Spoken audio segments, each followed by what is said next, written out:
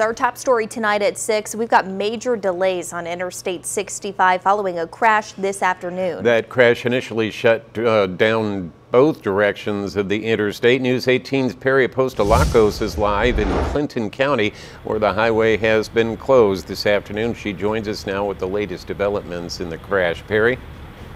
Hey there, Jeff and Marley. That's right. I actually just received word from Indiana State Police Sergeant Jeremy Pierce that one person is dead and another person was taken to an Indianapolis area hospital after that head on collision between two semi trucks on I 65 earlier this afternoon. Right now, we are at State Road 52 East and State Road 57. You can see a lot of the traffic from the closure that resulted from that crash has actually come to this area.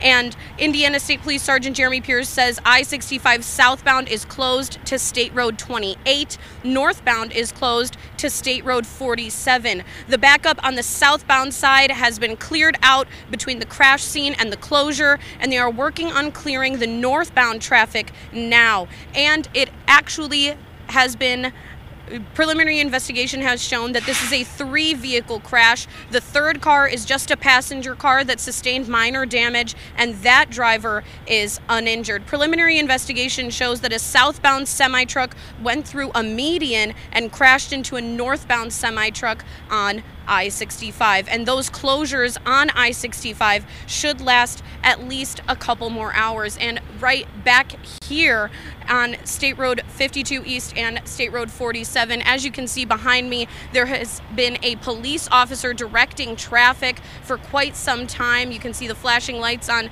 the police car there as long as we've been here for about a half hour or so. You can see and uh, along this side of State Road 47. You can see multiple semi trucks kind of sitting in a standstill. Traffic is not moving too quickly, however, it is moving. Now, that's all I have from Clinton County here. Reporting live, I'm Perry Apostolakos, News 18.